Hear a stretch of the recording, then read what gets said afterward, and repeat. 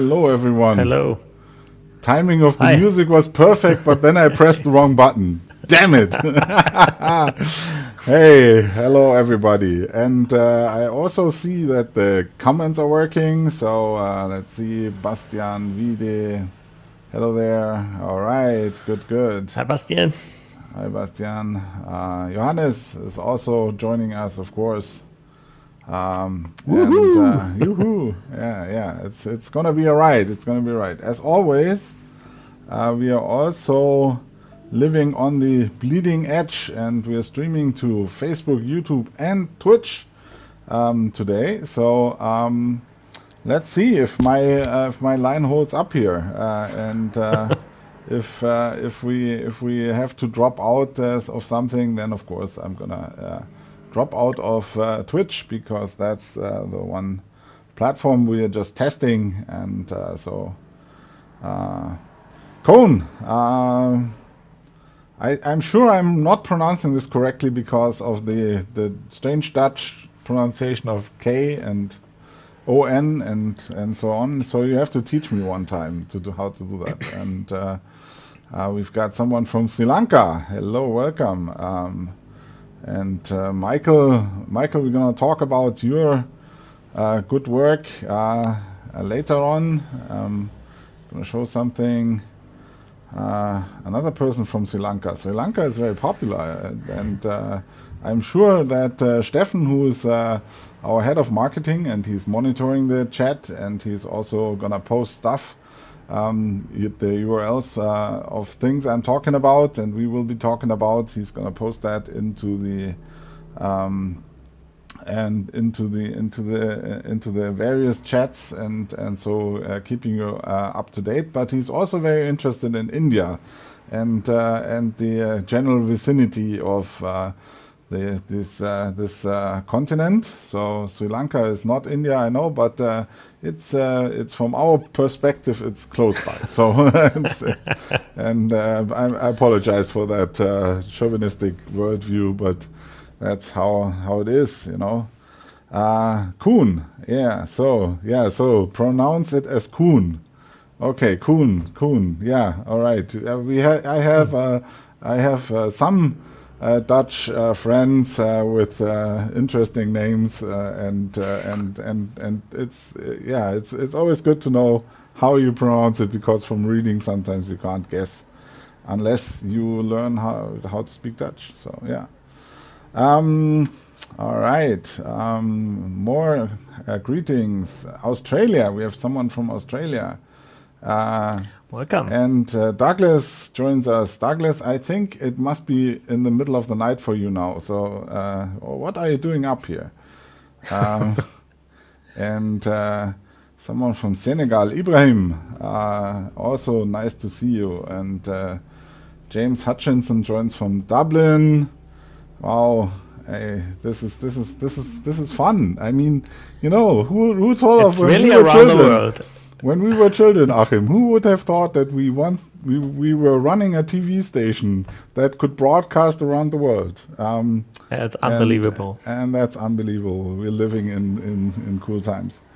So, yeah, what are we gonna talk about today? So, um, just um, a brief uh, overview of what we uh, we've in store for you. We we're gonna be showing, talking a little bit about uh, configurations uh, because that's a topic that is um, coming up um, a lot of um, times in the forum, and uh, we're doing it. Um, um, uh, we're doing it uh, by uh, showing you some interesting use cases, and and so um, and and then after that uh, we're gonna look into automation a little bit. Um, we're not gonna uh, show you code this time. We, we're gonna show you code, but we're not explaining it because we've um, we've planned a uh, automation masterclass next week. So um, we we're just gonna give you like a uh, some interesting use cases of the new automation stuff in Mimo Live, and uh, uh, and and uh, so so you to whet your appetite and to come to the masterclass. And we're gonna do a, a, sneak preview of a feature. And if you look closely onto the screen right now you can already spot it. Um, because of course I'm using it. So um, what should I say? And joining me of course my brother Achim from beautiful Austria and I think I should close hello, the hello. window because it's gonna be it's it's get, getting loud outside they build they there's road construction going on so um, uh, yeah, you know, you know the things that. Um, so maybe later on you will hear some deep thumps when they uh, play in the road. So it's like, right. Well, it's gonna be it's gonna be fun. All right. So I think um, we have more people. Bastian is from France. I and we have uh, Abdel Mullah Karim from Algeria. I'm sorry, I, am sure I'm not uh, pronouncing this correctly, but um, and Akriti is here as well. Um, uh, Akriti is here. Hi. Hi. Um, we, we're gonna be. Uh, uh, she she is um, working for and with us uh, in the Indian market, and uh, so she is the reason why we do this uh, stream at this time because we used to do the streams only on the afternoons in our time, and we had a lot of people from the west um, Western world. So. Uh, the time zone was better for the United States and the and the Americas, and now we've added this stream so we can also target people in Australia, in India, in Asia, and uh, in Africa and Europe uh, who maybe uh, have better. Um, uh, better for for whom that's better and Qatar. Oh wow! So we really have everybody everywhere from everywhere. That's that's uh, I, I, can't. Next time we need a map where we can draw. We, no, we need a yeah. I, I actually we, we, do have we do have we made a layer once. Do you remember that where we can where we uh, followed the uh, when we did the th 360 uh, drive of the car? We made it follow um, the map, so we might be able to do that. I, I, recently discovered um, interesting um, game Geo GeoGuessr, and uh, it shows it, it, puts you somewhere on on the uh, on Google uh, Google Maps uh, with uh, Google Street View. I think is the is the so the you, you you put there and you have to guess where you are, and you can walk around and see the and, and figure it out, and so and then you get points. Um, oh, great! Yeah, fun. and and, and uh, Johannes, of course, is in beautiful Salzburg, Austria. So, all right, let's get started. So, for starters, I think um, one of the things that might be interesting to you is um, to learn how we set this up, Achim. Um, and um, so, I'm gonna just bring up the slide uh, for a second here, and this shows you how we are operating today. So, Achim has two computers actually uh, in uh, in Leoben in Austria um, his laptop where he's to do the MimoLive demos.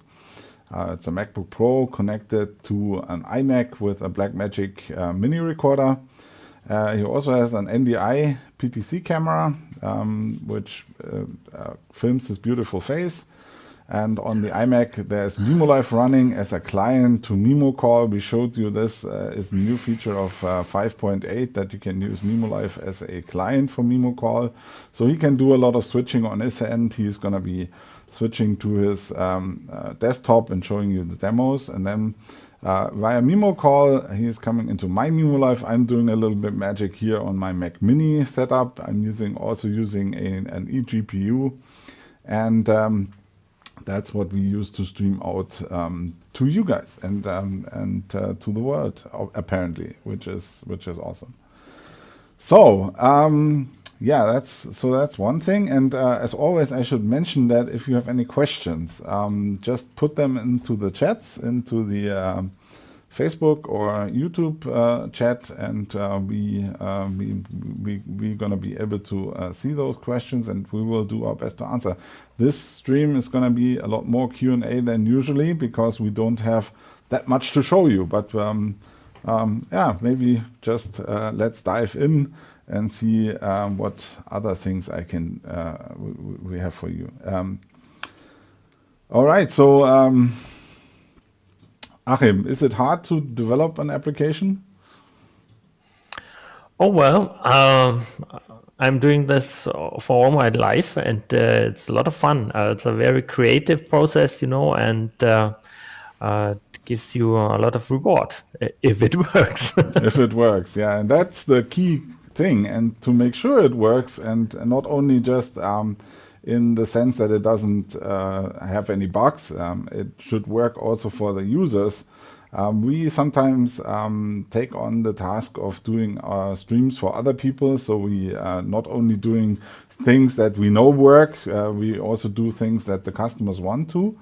Uh, to do, and I'm trying to, um, um, um I'm segueing here into something because I recently did um, a convention. I streamed a live streamed a convention, a uh, you know, for the German Speakers Association. It's a um, professional association for professional speakers, and um, they uh, usually have their annual convention in September, and this, uh, and of course, um, mostly uh, on site and um, offline. And um, so this year they couldn't do it due to the pandemic. So I uh, suggested we should do it um, uh, as a live stream, and I you know that's something I wanted to do all the time.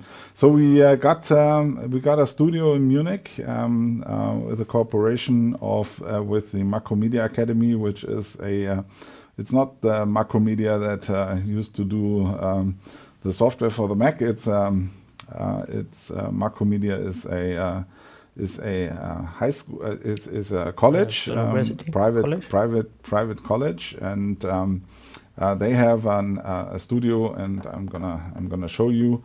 Um, I'm gonna do something that I've never done before, so cross your fingers.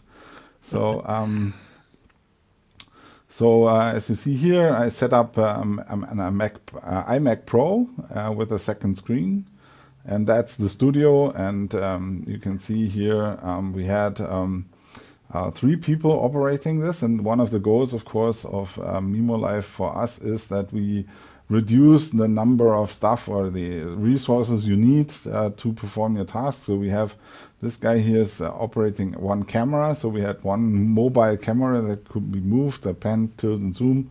Uh, well, not tilt, hopefully, but pan and zoom camera uh, to follow people around in the studio if we had to. Uh, we had this guy here who is the audio engineer, and I think audio engineer is a very important part of a production. Um, I um, I think that we can do easily do um, all the video stuff um, in uh, in Mimo Live, but um, um, audio is a different thing. Audio you need to uh, constantly, if you have multiple uh, people with multiple microphones and and other audio sources you need to be able to mix them and and and and uh, fine tune them and and you need a professional to do that. So we had this guy um, there and here um, um, and if I continue a little bit um, uh, you will also see that we had two zones in the uh, in in the studio. So this is the interviews uh, zone um, um, the interview corner where we had the moderator this guy here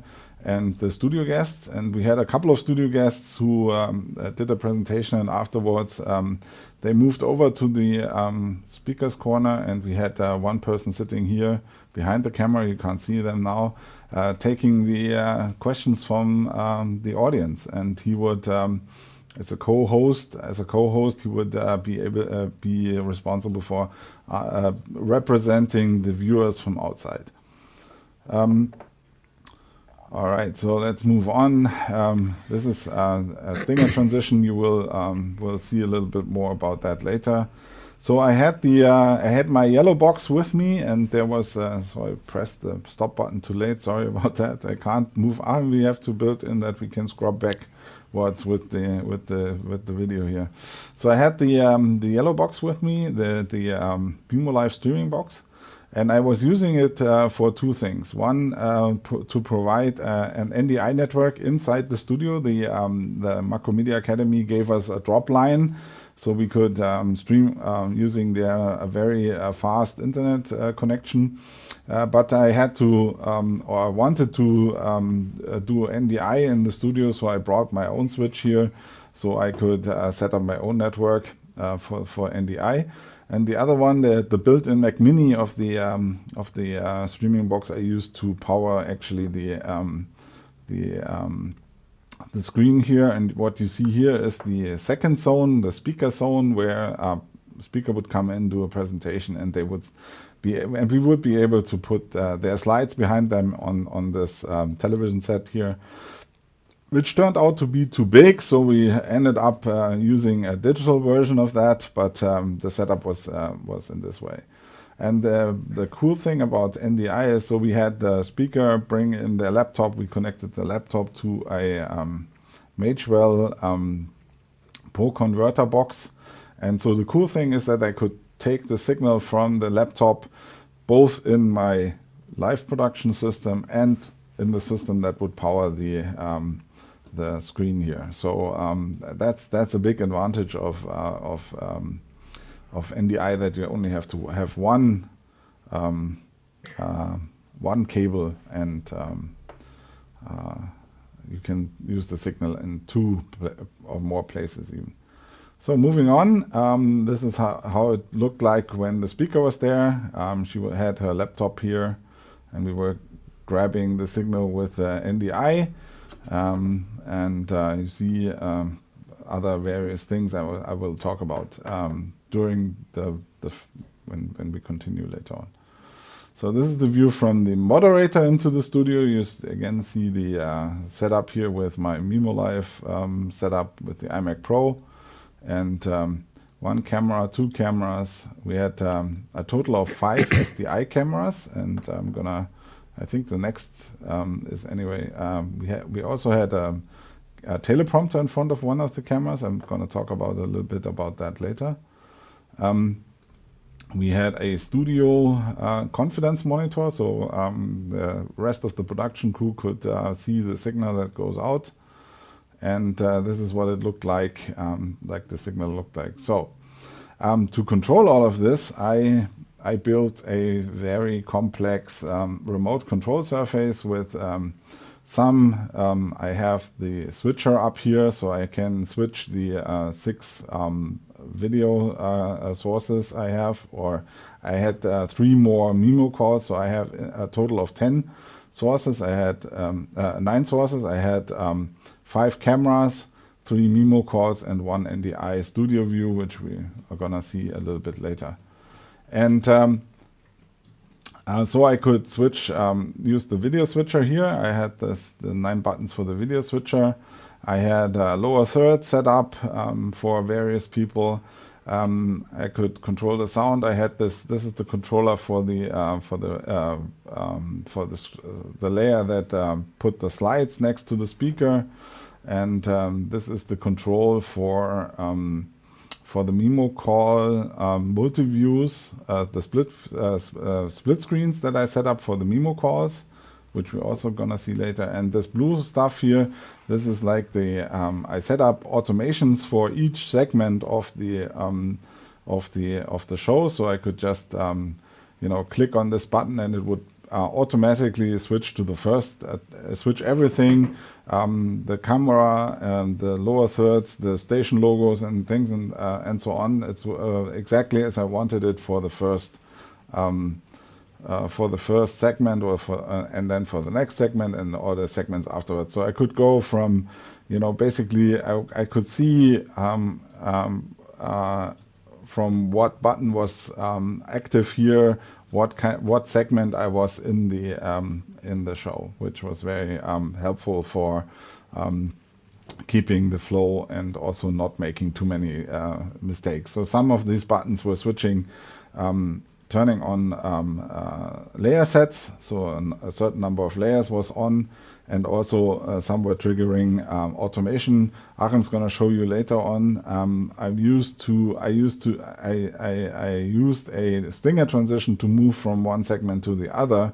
So um, the automation would basically trigger the transition, then wait a couple of frames and then switch um, uh, the layer set below the transition. The stinger transition keeps um, the, the whole screen covered.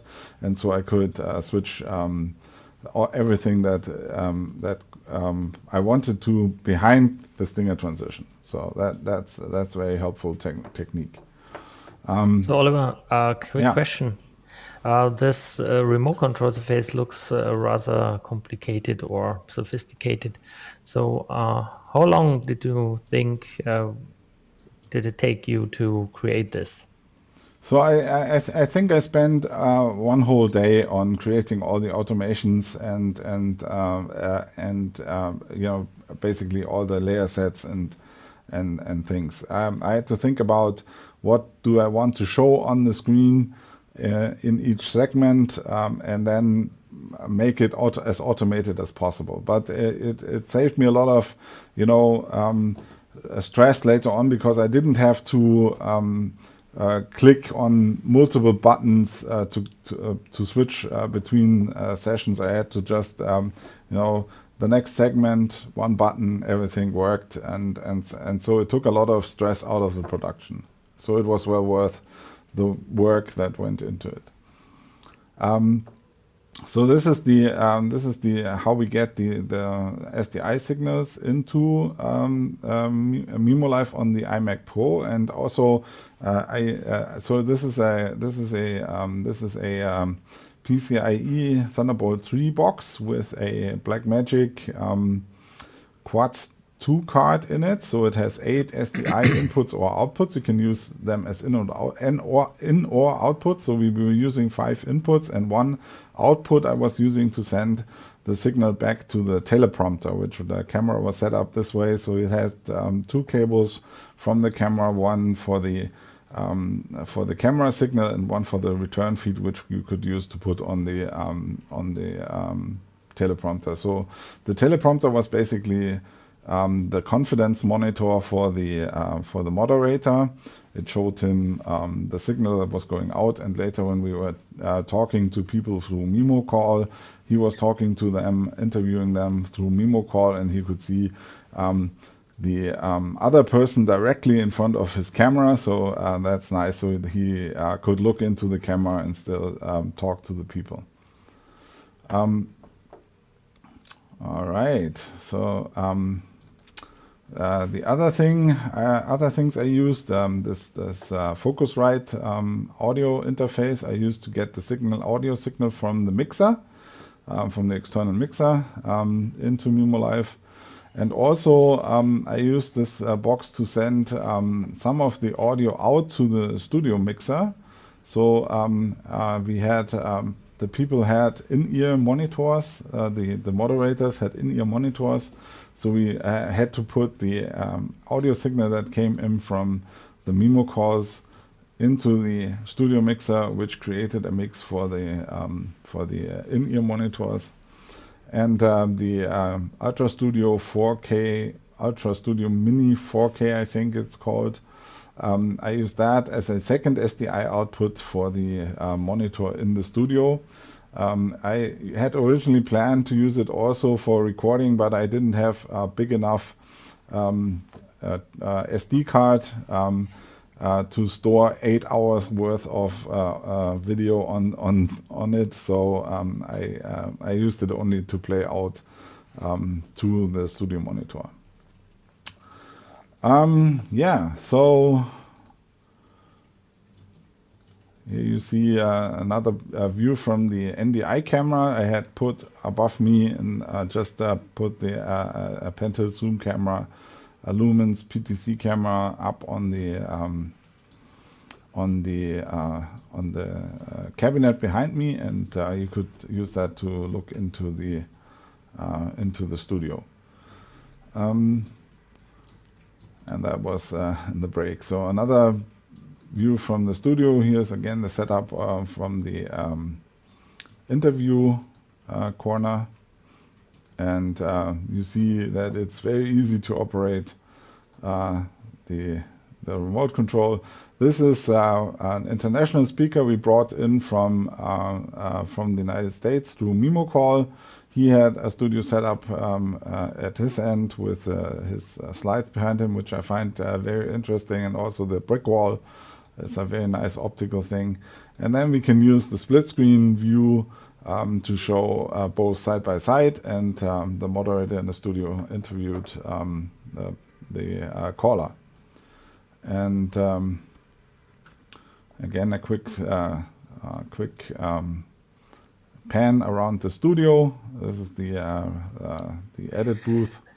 It's a lot of cables and stuff, um, and um, this is a detail view because um, um, uh, in addition to sending the um, program out signal to the monitor and the confidence uh, monitor in the teleprompter, we also wanted uh, the moderator to, and, and the studio crew to have a time and a countdown timer. So um, I made a second document on the same Mac, um, uh, iMac Pro and um, used the uh, output um, and created a, a, a Syphon output uh, from the um, uh, from the first document into the second document. So I got the uh, complete um, uh, program out um, into this document. And also and then I used the second document to put on a, a clock and um, um it's a date and time layer and a countdown layer.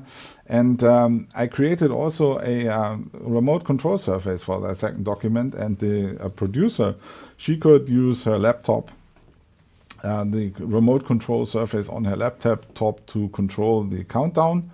So she could uh, tell the moderator how much time he had left um, to um, for the interviews uh, and um, to the next segment, uh, which was very helpful. And um, the moderator, this is how the moderator saw this um, with the time and the countdown timer and the view from um, the program out. So when he was interviewing someone, he saw uh, the Mimo call here and also how much time he had left and um, uh, for for the interview. And all of that uh, produced on just uh, one uh, Mac iMac Pro. So here's another view with three, um, and um, this was the second day. We uh, did the same thing, but this time with Zoom as the um, streaming platform. The first day was done on Vimeo and uh, this time um, they uh, went from the studio to Zoom and had a more interactive um, experience. All right, and uh, that's it. Um, a live production with uh, with uh, Mimo Live um, on uh, an iMac Pro. So let's see what. It sure was a lot of fun to draw all the cables and, pl and plug everything together. Yeah, that wasn't actually that much of, of work. I mean, uh, the uh, the uh, live streaming box is a big help with because you just plug in the cables there, and also um, the studio uh, was already set. The, the, cameras in the studio were already set up mostly, so we didn't have to um, uh, do too many cables.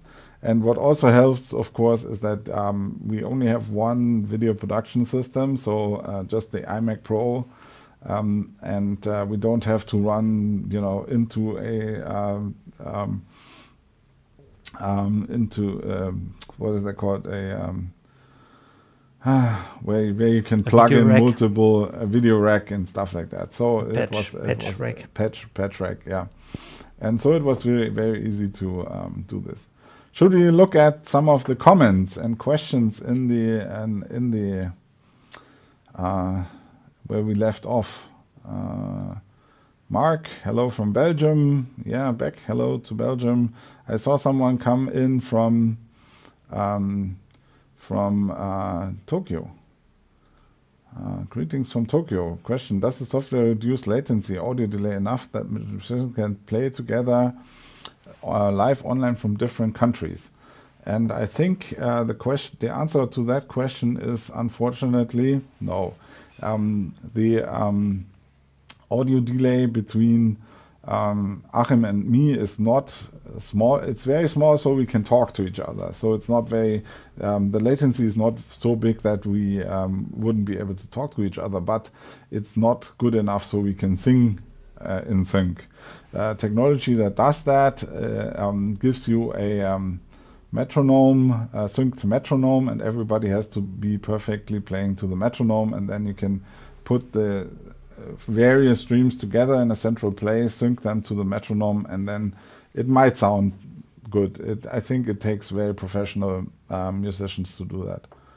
Um, yeah, it's not like you can jam together. Yeah, jamming is, well, you have to uh, be very, very good. Um, another question from Ulrich Ottensen.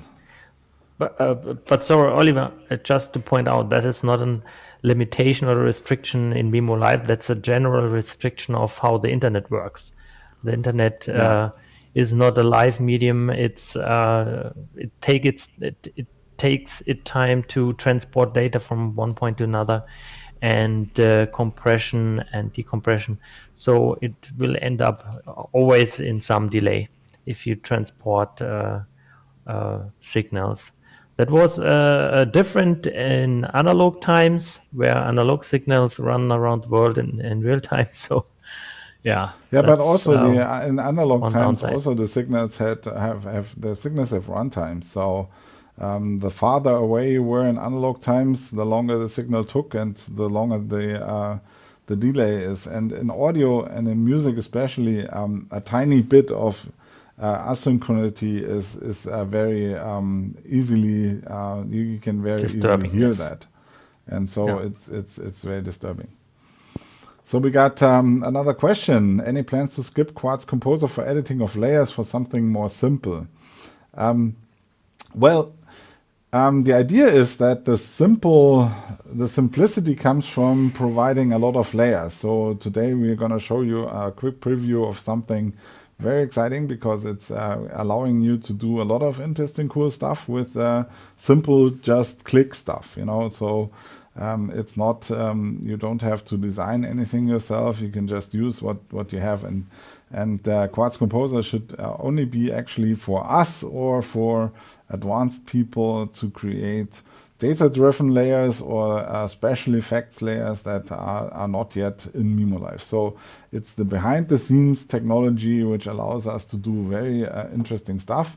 And uh, we can't make that more simple because if we make that more simple, it would be less powerful. So um, we have to. Um, so the strategy is basically to provide um, uh, a lot of cool layers for people to just use and uh, provide a technology for advanced uh, people to do more complicated stuff. So if you have any ideas of layers or things you want to do that you can't do yet. So one thing we saw um, is that uh, uh, at the beginning when we started shipping mimoLive 10 years ago, we had a lot of people request uh, custom layers because there weren't enough layers or uh, the layers weren't powerful enough to do a lot of stuff. But uh, right now um, uh, we we sometimes get requests for custom layers and then we uh, can tell them you know uh, there's already a layer that does most of what you want then maybe we uh, do a little bit of modification for um, and and uh, and uh, and advance and and improve the layer that's already there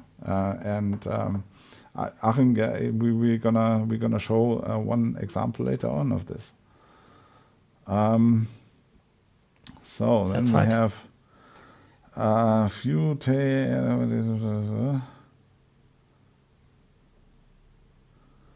Um, Mark, ah, this is a good question. a few days ago, I had four guests on MimoCall. They were unable to see my program, but it was it was good from my side. Is it possible to have a kind of monitor to see if the signal sent to them is okay? So there is a little bit of a monitor. It doesn't. Um, uh, usually, um, it should be sending the program out to them, uh, and you can monitor if they get the signal. They you can't you can't monitor the signal itself because it's the same thing as the program out.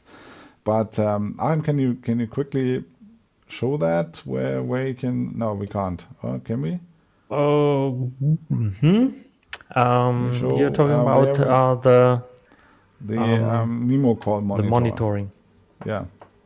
Oh, we can uh, we can see if we can uh, stick this together uh, quite quickly. Let me see if I. Yeah. So while, while you're doing this, I'm um, I'm looking at more questions. Sure. Um,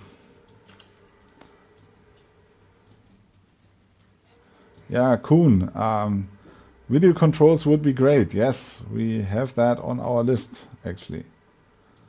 Um, Okay. And uh, comment from Bastian uh, about the cameras in the uh, in in the studio, I guess uh, that you used. Yes, they were very cool cameras, and what uh, what I, I personally I think what's even more important than the cameras is basically the uh, tripods they were mounted on, which made it very easy to move them around. So the person operating the follow camera um, had a very good, uh, very easy job. Okay, coming back to the mimoCall question. Yep. so just, should I uh, show, should I put your screen full screen? Yep. All right. Here we go. So in Mimo Live, I uh, created uh, quickly a blank, blank document and added a mimoCall source. And uh, once you uh, run the mimoCall, you can click on this action gear here and get an inspector that uh, will tell you some statistics about the mimoCall itself. And so uh, in the outgoing section, you see uh, the bandwidth used by this uh, by the video. And usually this should be showing some data in a, in a graph and if it drops to zero then something is wrong because um, then no data is uh, left your computer. So this is actually showing the data that's uh, leaving your computer. So that one that's one uh, kind uh, to monitor the outgoing video stream. Uh, that's uh, the same thing for audio as well. And on this side you can see if the incoming video, which may be more important usually, uh, is enough data uh, to have good quality. Okay. Yeah, I hope that uh, helps. Yeah. All right. Good. Good. More questions. Um, I have one question. I will, um, uh, Manu. Um, uh, da, da, da. Our Mimo Live triggers application memory has run out even though we have 32 gigabytes of RAM. Is there a way to avoid this? Um, I'm pretty sure there is some um, error. I rarely see the memory go over 4 gigabytes. Um, so um, please uh, go to the forums, uh, forum.boinx.com and post your specific case and um, we'll uh, take a look at what's going on uh, on here. We would, uh, um, uh, if you if you can, please send us a link to the document so we can look at what what's in the document, and also send your um, version, Mac OS version, MimoLive version, and the information on what what what computer it runs on. All right. And uh, actually, we recently discovered a memory leak, um, and we will bring out a new uh, version of Mimo Live to fix that. Uh, a, actually it's a rare case, but uh, maybe it's on your side. Maybe it's um, it, yeah. So some it's but it's hard to tell if this is the specific case. So sure. we'll have to look at the document to see if that is. Um, question from Johannes, and I'm I'm fairly sure Johannes's questions are very advanced because he's one of the people using Mimo Live and pushing it to the limits. And we're talking about some other guy uh, pushing the same limit later on. Um, do you think that you would have saved time while creating automation when you could have automation assigned globals in automation instead of fiddling with API inputs by hand? And e.g. for layers name, layer name, yes. The answer is yes, of course most of the time uh, was spent in figuring out the uh, API endpoints and um, um, copying, pasting them uh, around. So uh, you are definitely right about this, and uh, but I I don't know when when we will have uh, a solution for that. Um, yeah, maybe that's another good time to mention the uh, masterclass in automation. Uh, we, we try to uh, do this next week, and I hope we can can dive deep into those topics here more tech support questions. Uh, George, um, I'm sorry uh, to hear that you have trouble running MimoLive. Um, uh, and uh, again, this is uh, perhaps uh, some very specific. Um, I the the stream I had uh, at the the stream I ran at the um, uh, GSA convention was eight, uh, roughly nine hours uh, constantly, and I never had any problems with uh, memory or crashing or anything. I had some problems, and uh, Stefan is gonna post uh, um, the the the post I put on Facebook in the comments. the issue was that. Um, after 8 hours and 17 minutes, um, uh, people uh, stopped uh, receiving a stream uh, from Vimeo. Um, I uh, MimoLive still sent data to Vimeo, and uh, on the MimoLive side it says everything is okay, and on the Vimeo page even said the stream is good, um, but people didn't see anything. So, um, and I had to fix that by restarting the stream to Vimeo. Uh, and uh, um, uh, I, I, wrote a little piece about um, what I learned from this experience um, that you never you you're never safe. Um, you, you, you can't um, predict anything, and it is maybe smarter to um, uh, just expect uh, the stream to uh, to stop at some point or to fail at some point, and structure your production accordingly. And I wrote down um, all the things I think uh, you should uh, take into account uh, in this post, and um, I refer you to that. Um, oh, here, uh, Abil. Um, again, yeah. Um, please, um, please go to the forums. we will contact you. and uh, there, Achim, do do you want to tell Abil what what we need from him?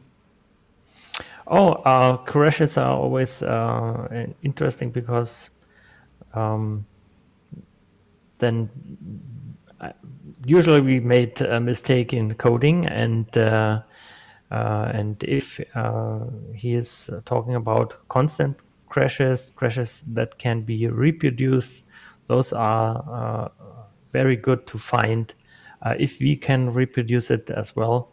So, um, but this is um, often depending on the setup, often depending on the hardware. So uh, please give us uh, all the information, all the details you can share uh, about your setup, uh, the used hardware, especially the computer, and uh, share some uh, crash logs. so in the documentation of MimoLive, in the online documentation, you can find um, how to collect the crash logs or the spin dumps in uh. All right, everybody. So I see we have a lot of questions. I don't think we get all through all of them today. Um, uh, let me see if I can pick some uh, quick ones. Um, um, Bobby June, uh, NDI, uh, all through um, MimoLive SDI to NDI. Nice. I was wondering if this conversion is similar to ND- uh, SDI to NDI software. So um, MimoLive can do SDI to NDI conversion um, um, uh, simply by uh, just uh, inputting SDI signal on one end and outputting NDI on the other end. Um, uh, what Achim and I are doing here is uh, Achim's NDI camera is uh, feeding into his MimoLive. He's producing a program out which is transmitted through Mimo call, WebRTC basically over the internet to me. So um, uh, I can uh, I can get his signal and and use it here in my uh, MimoLive to mix uh, stuff. Um, James, um, can you talk a bit more about the NDI setup for that event? Was it over Wi-Fi or wired? Was what are the pros and cons? What are common mistakes when using NDI? This is a whole other discussion. Um, James, if you want to, uh, just take it to the forums. Just a quick note, we I used uh, only the studio camera, uh, the one PTZ camera to get a view of the studio and the capture from the uh, presenter computer over NDI at that event. Most of the stuff was done SDI into the um, Blackmagic um, uh, Quad 2 card into the Mac, iMac Pro, and uh, uh, if I needed anything, I could have sent it over NDI to the second computer, but I didn't need it outside of my iMac Pro, so um, I didn't do that. Um, Bastien? And we highly recommend to use uh, a wired network. yes, to exactly, uh, transport exactly. NDI. Yeah. Is it po- possible to record replays from instant replay? For a sports match, it would be played during interviews right after. That's a question for Achim, I think. Yeah, uh, currently the replay uh, layer is uh, just storing the graphics inside the graphics card, so um, and only the layer can access it. Uh, so we can't really record it. I'm sorry. Uh, by what it Faith is. Narcissist, uh, can we have possibility to skip for minute seconds of a media file in uh, Mimo? Um, there's uh, two things to this. You can set in and out points inside Mimo Live um, in the media uh, in the media um, um, in, in, uh, uh, source. So if you go to the source um, uh, and uh, click it, uh, you will see a preview of the video. Achim, I think. Can you show that uh, where you can set the in and out points? Uh, let me see if I have a movie uh, prepared.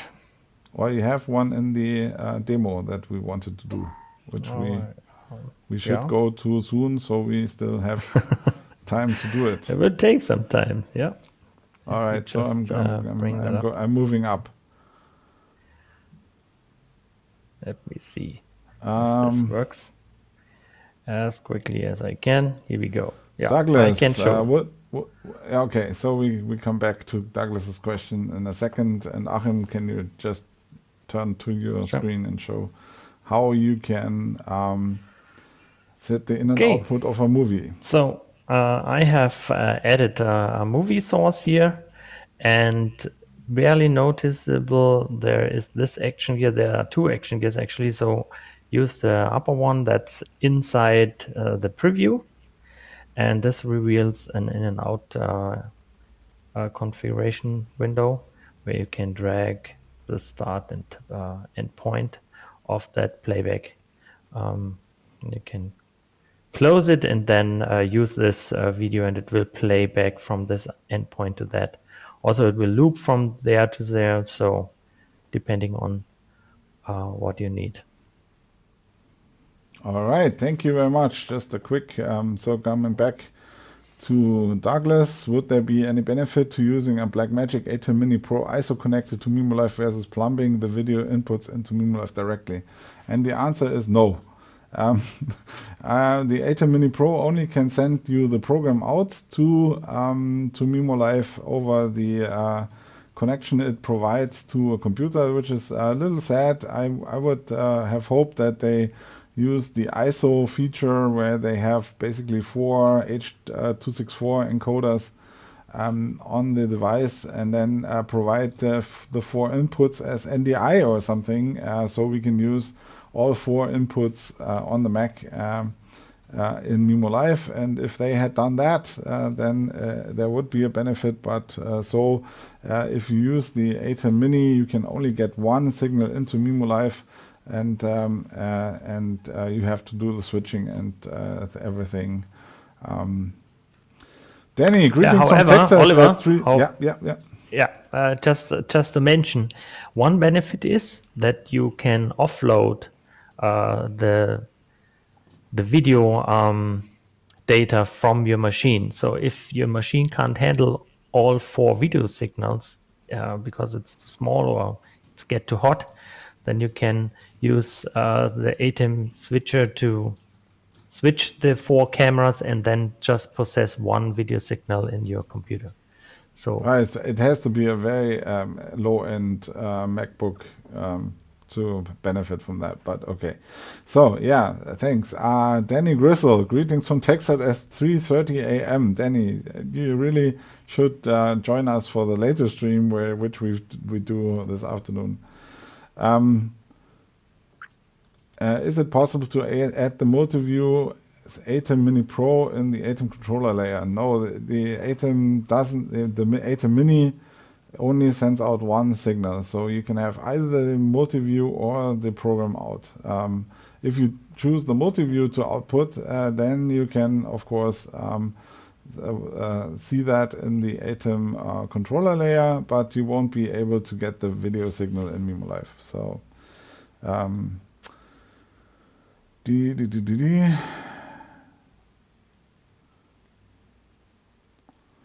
Um, Rodolfo Sousa, I need to know a little more of instant replay. Um, how many signals can I record for replay? Achim. you can have multiple um, replay layers until your video memory is full, right? Yes, you can uh, have multiple uh, uh, instant replay layers. Um, may, hmm, yeah, that's uh, difficult um, to answer. Uh, yeah, that it will try the, the the the instant replay layer will use up all the video RAM in your graphics card, and then uh, maybe Mimo Live uh, will stall. So it depends. Um, the, this layer is not uh, meant to do long instant replays, but just about 10 seconds or so, and uh, keep them temporary uh, for just one event and then uh, throw it away. it's a very basic implementation of an instant replay machine. So if you need to have multiple instant, uh, uh, I mean, there are uh, instant uh, replay machines that can uh, even do automated uh, playback at in, in, the end of a show and so on. So, but this is very very basic. All right, so I, we have a lot of questions, answered a lot of questions right now. Um, I think we should uh, move on a little bit into the uh, demos uh, for the master, uh, doing a little um, master class uh, teaser, um, Achim. Uh, so yep. we have we have three. Oh no! I before we do that, before we do that, if you want to know about another really cool um, uh, setup uh, experience, uh, um, a customer pushing the envelope, pushing the limits, and a little bit too far in, in their case, but um, uh, still uh, impressively far. Um, uh, you should go and watch the, listen to this guy, Art Aldrich, um, this week in production.com. Um, uh, Steffen is also going to post the uh, link to that um, uh, podcast uh, where he explains how he did uh, production with two control rooms, um, 21 Mimo calls, 14 ISO records, or wanted to do that, and uh, how far he got in uh, with his um, Mac Pro, uh, 14 uh, with 14 cores. So a fairly new machine with a lot of power. All right, so let's go and uh, get into the automation uh, promo. Achim, do you want to show three demos for sure. what we can do with automation? So we uh, learned um, a lot um, uh, since we uh, uh, introduced the automation layer. Um, we had a lot of customers asking for various different um, use cases, and I'm going to show you a couple of those now. So. Actually, the first one uh, was uh, created by a customer. Um, and this is a time zone uh, switching um, application. So uh, the idea was to the, uh, have. Can you make the program out a little bit bigger? Sure. So here we go.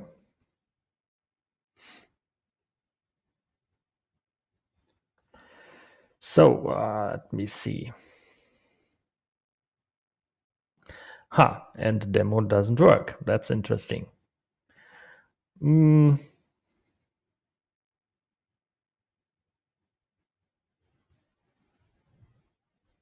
For some reason, um, yeah, but uh, I will will talk it through, uh, and and uh, in the masterclass we can uh, check out what, what's what's wrong with it. Um, actually, the the idea was to have a clock and uh, with a time zone and switching through different time zones. And uh, the customer created uh, multiple variants from a date and time layer. And uh, usually you would have to select one um, variant after the other to make the switch between uh, the different time zones And uh, the automation layer, um, if it works, I'm just uh, uh, not sure why it don't work right now. Um, however, uh, the code uh, is here and it runs in a loop and switches on one variant after the other. And uh, it will uh, automatically run through all the different time zones.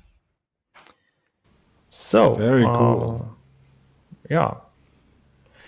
So, another uh, thing uh, was, which is always interested, interesting is sponsors. Um, uh, we got a playlist of sponsors here, and uh, the automation layer will play back them in this pip window. So the pip window is uh, one um, layer to present us uh, a source inside a, a, a, frame, a window. And in this case, the playlist source is uh, configured to just play one uh, media file and then stop. Uh, so if I press the play button, it will play back currently the MasterCard uh, ad. And once uh, it finished that, will uh, stop playing back this one and uh, going back to the first one and waiting to play it again. And the automation layer actually is programmed right now to run every 30 seconds and to trigger the uh, uh, the pip window to play it back. So um, the command sleep on the minute, uh, for example, you can put in, uh, let's say, every 10 minutes, and then it will play back every 10 minutes and exactly on the 10th minute of the hour uh, an ad for you. And well, you, can, you, you can also you can also say it should play on a specific time, right? So you can say it should play at 5 p.m. 30, 23 minutes, 10 seconds. Yeah, there sh- uh, you should. Uh, yeah, you need to uh, use a different uh, command to do that. So in this case, it's just uh, waiting to uh, specific minutes of the hour. Yeah, but the but the automation layer has a command to wait until you know play every hour at ten past the the or play it every. That's correct. Here you see sleep until, and then you can enter uh, an hour uh, and, and, time uh, specified in 24 hours uh, format. Very cool. Very cool. All right. Oh, third. We have a third and demo, right? Yeah. Yeah, sh short one. Uh, however, I, I, think it won't work either because uh, for some reason the automation is just not working as it should. Um, but let's see. Uh, maybe I need to uh, restart. Maybe you need to turn here. on the uh, the um, HTTP. Actually, server. that just worked. Uh, ah, you're right. I resetted Mimo Live, and then this, of, of course, will switch off uh, the remote control um, and the HTTP server. Uh, to make this all happen and work, you need to switch on the remote controls in yeah. uh, in Mimo Live, of course. So now it should work. Let's see. Um, yeah, we have this uh, wonderful background, and uh, and we have we have this movie, and we want to play back the movie, but just playing back the movie will uh, by switching on this placer layer here it will just cut to that movie and play it back and uh, once it's done it will just cut back and this is uh, boring. So um, you want to have a stinger and we just created a, a fancy stinger with the lower third uh, layer. So you can use the layers and uh, reconfigure them to do uh, fancy stuff. In this case it will fade uh, um, wipe through a blue and show the um, the logo here. And the automation is uh, running to uh, switch exactly in that second to the movie once the stinger covers the full screen. So let's see how that looks like. Now uh, the movie is running, and uh, the se- uh, second automation is going back from the movie uh, to the studio. Here we go. All right, cool, very cool. Uh, so maybe you should point out that this is most useful if you do a bunch of changes um, behind the um, behind the stinger. So uh, if you uh, yes. switch to a different, uh, completely different scene, for example, I used it in the in the uh, in the um, uh, I used it at the GSA convention um, to between segments, so you, people could follow the flow of the uh, events. So you have like a you know a, a, a distinct um, a distinct, break between the segments, and if you move to the next segment, and you can just switch everything. Um, you know, different cameras, different uh, lower thirds, different uh, different stuff um, behind the um, behind the stinger, which is very um, all right. So right. yeah, thank you very much, uh, Achim, and also, of course, uh, this is a teaser for the uh, masterclass where you will learn how to do all of this and uh, how to make the maximum from um, from the uh, automation layer. And uh, we're looking forward to seeing you there. Um, Steffen will uh, again, I think, post the thing in the. Um, the chats. The, the, chats. All right. Bastien, uh, automation is awesome. Yeah, thank you. Uh, oh yeah, here's again the masterclass um, information. Um, all right, James Hutchinson, feature suggestion for future, any possibility of adding audio plugins to source audio? Yeah, thank you for the suggestion. This is on our list for quite some time. Um, we had an audio engineer work with the team who wanted to do this, so he put that on the list a couple of years ago. Uh, we still haven't gotten around to do it, uh, but uh, it's it's basically under the hood. Um, it's basically already there. Uh, we only need uh, to figure out the user interface, and that is a big problem uh, actually. So. Um, one thing after the other, Achim, right? So let's move on to correct. the next. Um, uh, uh, Mark Ferdinand, hi, uh, just to say hello. um, um, well, is it possible? Um, uh, is it possible for Live to display real-time comments from YouTube, Facebook, etc. live on stream like Ecamm Live or this stream does it? Yes, this stream is done by Live. So uh, the answer for that question is clearly yes. Um, James, uh, in fairness, uh, is referring to the podcast I shared. He got pretty far in that podcast, really pushing Mimo Live with a bit more pre-production time testing. I think he would have nailed it, and I think too. I think, uh, uh yeah, and uh, we we can uh, certainly discuss that in the comments um, under the post um, because I have a couple of ideas I'm talking to him uh, about, which may improve his results in the future.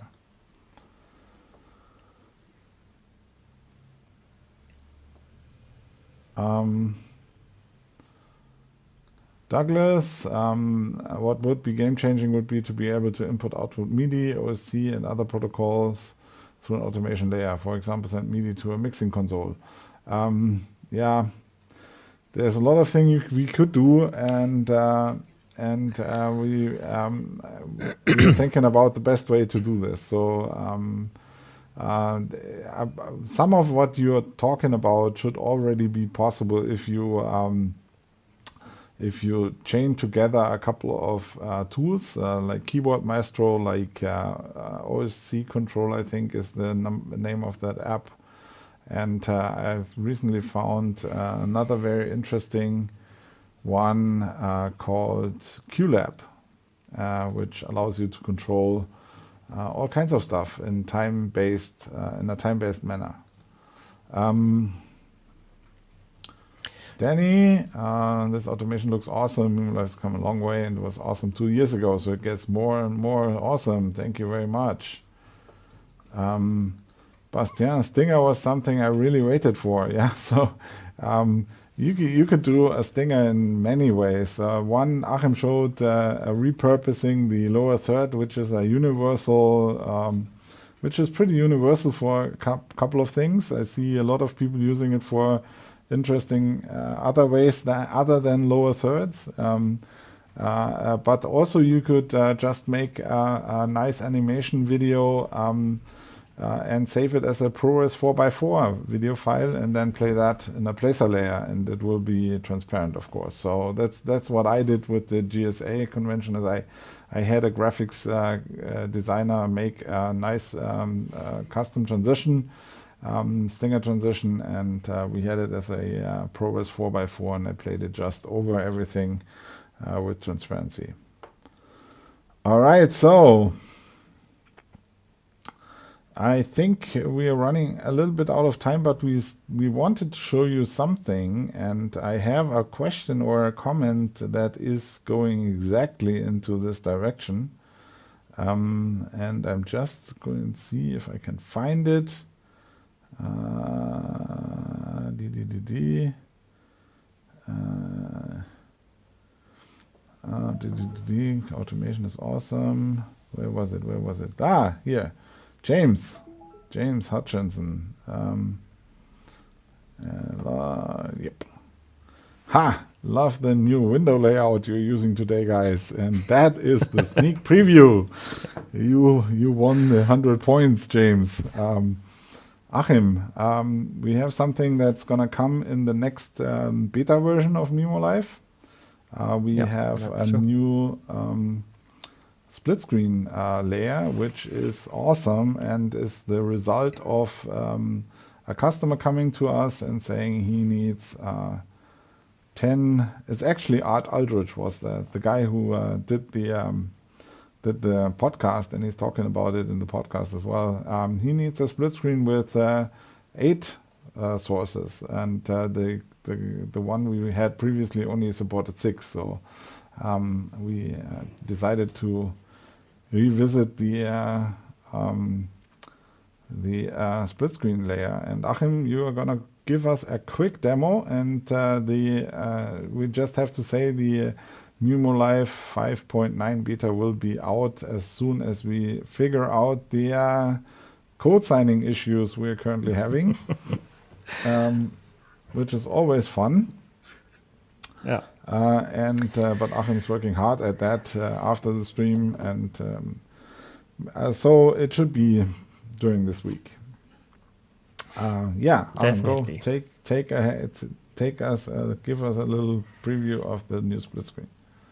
Yeah, I installed it on this machine, so let's see.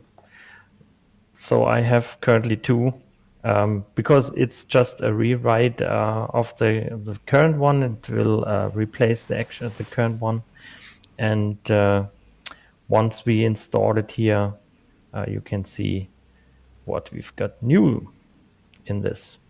So, uh, of course, you can have all the fancy um, layouts, and uh, Oliver already mentioned it. We added a bunch of new inputs so you can have up to 10 video sources. Uh, I hope that is enough for now.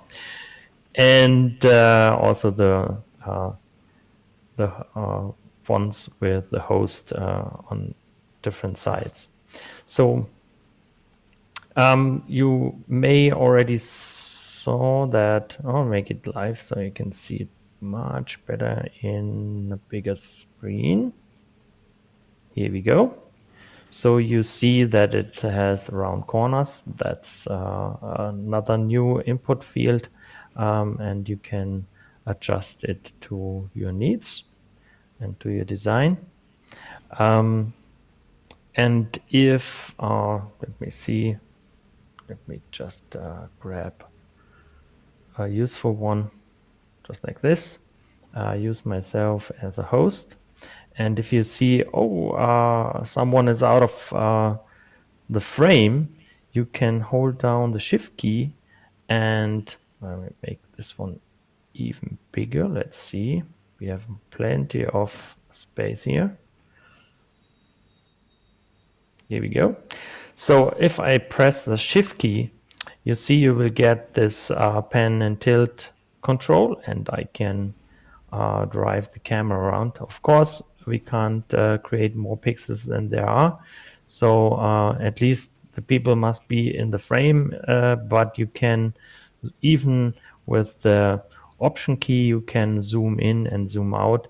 And this is uh, to uh, um, basically match the uh, sizes of each uh, of your guests and the position if he, if they are out of frame somehow. And this is individual for each camera or for each source. So we can zoom in, zoom out here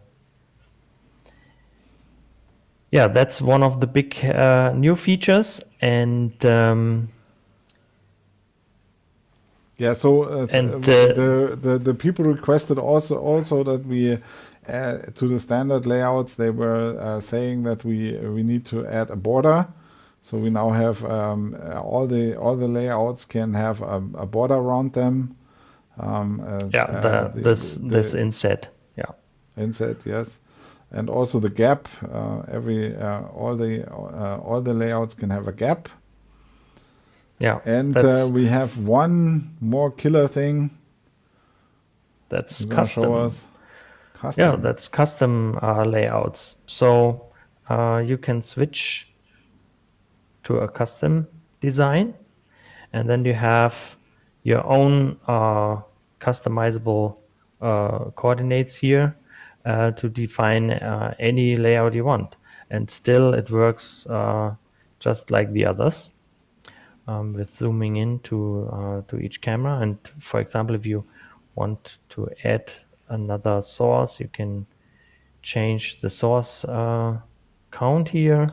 And to position it, uh, we have percentage coordinates. So 50 50 will be the center center of the, the screen and let's say make it 50%, 40% uh, and 40% in heights. Um, and here you see that those percentage are meant uh, from from that window actually where the videos are positioned. So I guess this will uh, allow you to have really uh, fun um, layouts uh, and uh, you we'll see if if you can create your own here.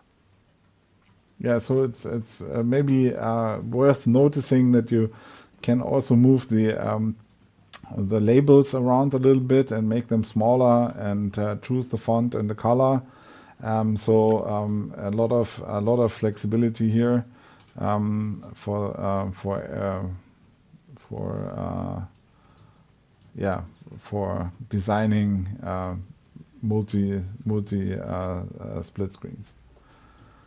All right, good. Thank you, Achim, for that demo. Um, as I said, it will be available um, later this week, hopefully, in the next beta for you to play around. And um, I'm using it here already, and you can see it works fine.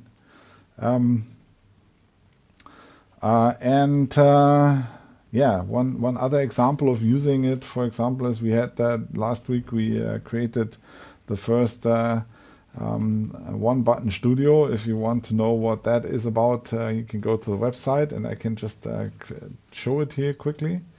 So that's what it looks like. Um, it's uh, basically for um, use in a in this this one goes into a community um, uh, into a uh, government uh, facility where um, they will use it to create videos to tell the um, um, citizens how to fill out forms um, for this government agency and go back here. So um, that is another fun use of the um, uh, the split screen, uh, the new split screen layer. All right, so I think we are through. Um, let's see more. Com I, I saw that there are more comments coming in to the split screen view. Uh, James Hutchinson says that's awesome. Thank um, you. Michael Jäger, awesome new feature. Uh, Kuhn uh, wants to take us to take it further Um, nice feature shortcut for auto align all attendants for the pictures in the pip. Yep. uh, one day, maybe. Um, um, da -da -da what else do we have? Uh,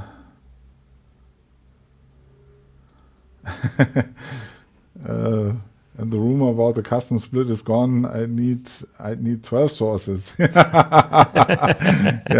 Hmm. Okay. Um, um, is it possible to use QuickTime Video with Alpha as a stinger? Um, QuickTime videos are no longer supported on macOS. Um, the um, no, that's the wrong that's the wrong answer. Sorry. So QuickTime QuickTime is a very complicated um, topic because QuickTime is a technology and it's also a, a, file format. So a QuickTime file is still available on the Mac as a, you know them as .mov files, MOV. That's a QuickTime file basically, and then there's a video, audio, and multiple tracks inside uh, with different things. And um, the Alpha channel um, for, for support for alpha channel, you would have to have a codec that supports the alpha channel. And the old QuickTime codecs that used to support alpha channel are no longer uh, supported uh, and you can't play them back. So currently the only way to do alpha channel is ProRes 4x4. Um, you can uh, create those, for example, with uh, Keynote. Uh, if you want to do quick things, uh, it's fun to play around with the Keynote um, transitions and uh, you can save them as ProRes 4x4, this giving you a transparent video um, you can use um, for lower thirds, for stinger transitions, for any kind of fun stuff um, you might want to do. So uh, quick answer to that question.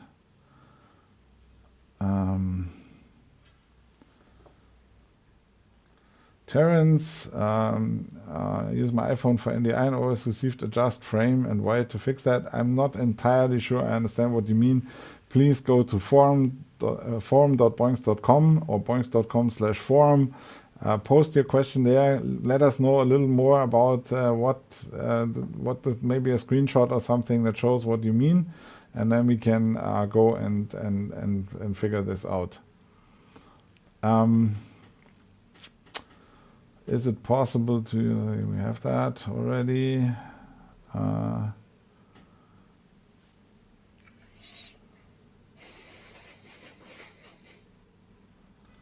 Danny, I do have a question. I noticed in the latest update when adding a layer stack and switching between the two, it will do a transition. Is there any way to turn that off? Um, Achim, do you want to tell Danny how to make a layers layer set that skips the transitions when you turn it off. On. On. Off. On off. Um, yeah usually there is no uh, real transition between um, layer stacks or, or layer settings. Uh, um, but there are some layer that does transitioning so uh, maybe it's uh, a good idea to exchange those layers. So in I think we should uh, we need to uh, look into that specific document to see what's happening, what's going on, and uh, if we can. Well, I, I, was I was thinking about the uh, force off um, feature, but yeah, okay. Let's let's take that to the forum. Um, we are already 20 minutes over time, but uh, you know it's so much fun uh, answering uh, the questions from the forum, from from the chat, and showing you all this amazing stuff. Danny um, says, um, I've been using Keynote with chroma key green background to key in live video, the reverse of using green screen behind the live talent.